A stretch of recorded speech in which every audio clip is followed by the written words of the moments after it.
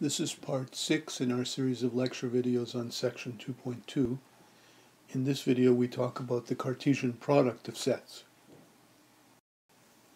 If A and B are any two sets, we first have to talk about what we mean by an ordered pair of an element from A and B. So the notation is given by this. If little a is an element of set capital A and little b is an element of set capital B, then this notation denotes the ordered pair AB, and there's an implied ordering in that ordered pair that it matters in which order we write A and B. So accordingly, if we have two ordered pairs, AB and CD, then we define them to be equal precisely if the first components, A and C, are equal, and the second components, B and D, are equal. Now we're ready to define what we mean by the Cartesian product of two sets. If A and B are any two sets, we define the Cartesian product of A with B to be the following. It's defined here using set builder notation. It's the set of all ordered pairs xy such that x is an element of A and y is an element of B.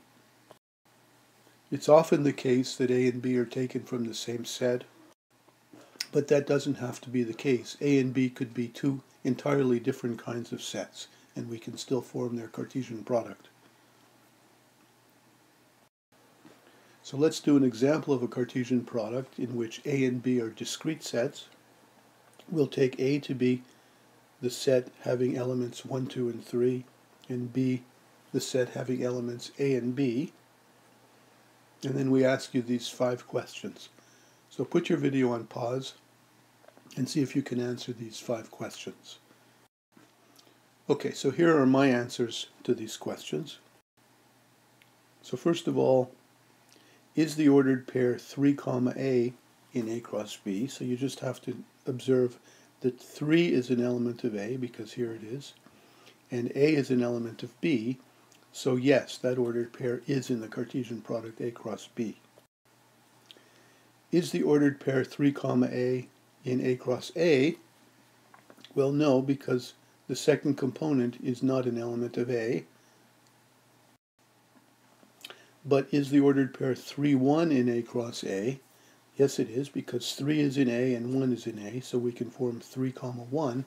And notice that that's considered to be different from the ordered pair 1 comma 3.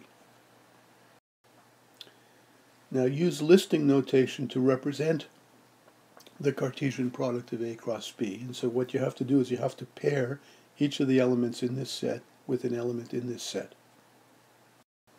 If you do that, you get the following thing, and notice that I've used correct listing notation by putting curly brackets on either side, and I've listed the elements of the um, Cartesian product in between, separated by commas, and you'll notice that there are six such elements. And what about if you use listing notation to represent A cross A? That's going to have more ordered pairs. There will be nine such ordered pairs. And the Cartesian product is given as follows.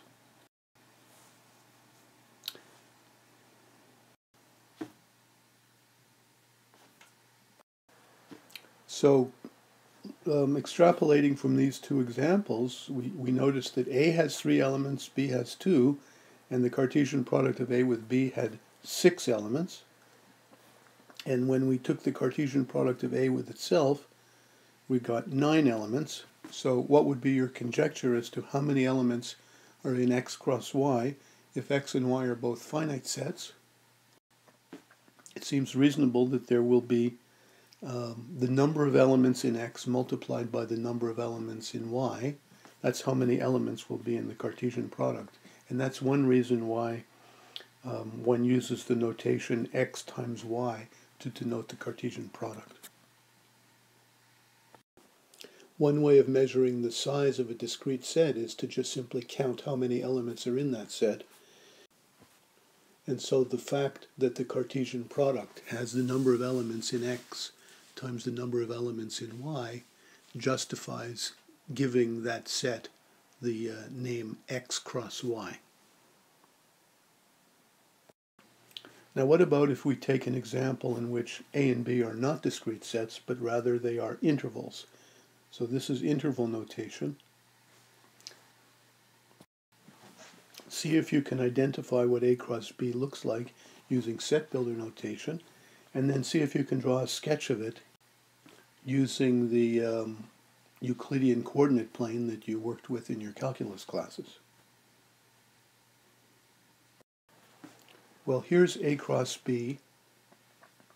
The first line gives you the, the working definition of it, and the second line gives you a slightly more detailed version of what it is. The notation R2 refers to the Cartesian product R cross R,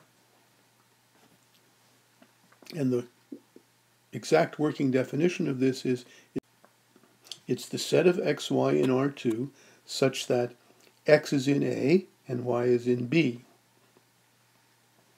But to say that x is in A is to say that x is bigger than or equal to 1, less than or equal to 2.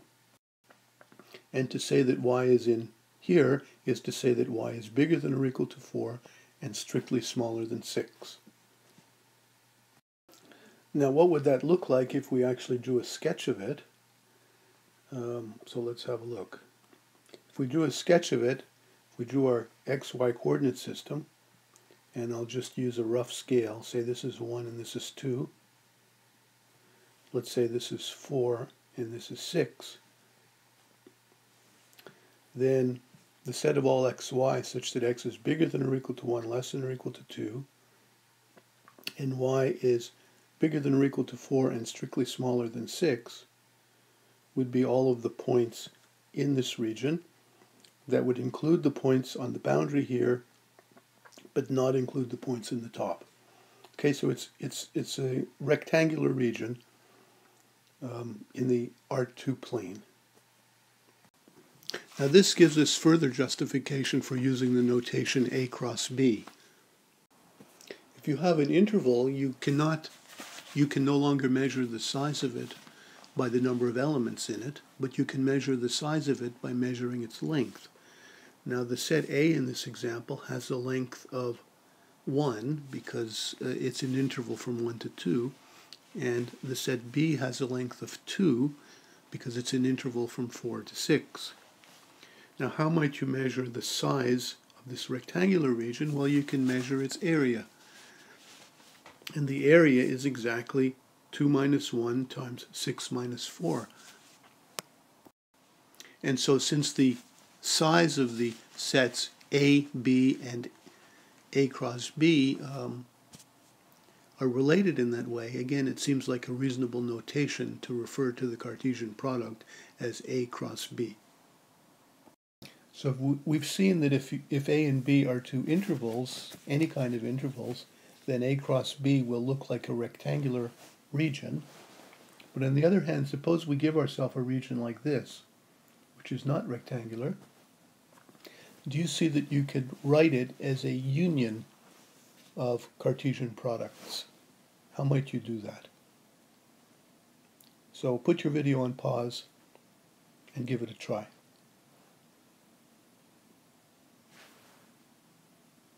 Well, there are various ways to do it.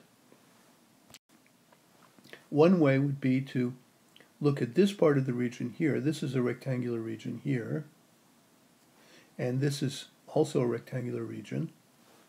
So each of those can be viewed as a certain Cartesian product, and the union of those two would give us the entire region. Okay, there are other ways of chopping it up as a union of Cartesian products, but that's certainly one way. And so we can write down the answer as follows. it's the union of this region. So this region is 1, 3 cross 2, 4. That gives us this. So that's what I've written here. Union 3, 6 cross 2, 3. And there you have it. So that's one way to write this as a union of two Cartesian products. And by doing that, one can come up with the area of this region by simply adding up the areas of these two pieces. Now there's actually a more advanced subject. It's called uh, measure theory. And measure theory is a subject in which we have um, much more complicated shapes in the xy plane, and we ask, is there some way of figuring out what the area of that shape is? And the idea is to try to write it as a union of rectangular things, maybe not finitely many pieces like this, but maybe countably many pieces. And by adding up the areas of the uh, rectangles that make it up, one can come up with a way of figuring out what is the area of uh, fairly complicated things. And that's uh, an interesting branch of mathematics called measure theory, something that you may see in your future.